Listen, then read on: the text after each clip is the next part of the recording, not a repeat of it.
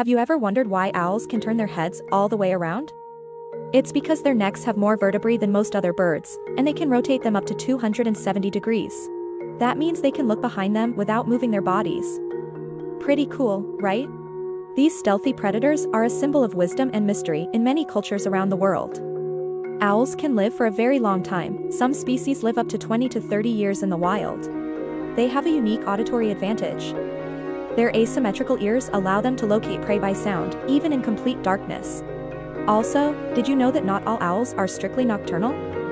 Some, like the pygmy owl, are active during the day too. They have specialized feathers that make their flight silent, so they can sneak up on their prey. And let's not forget about their incredible vision.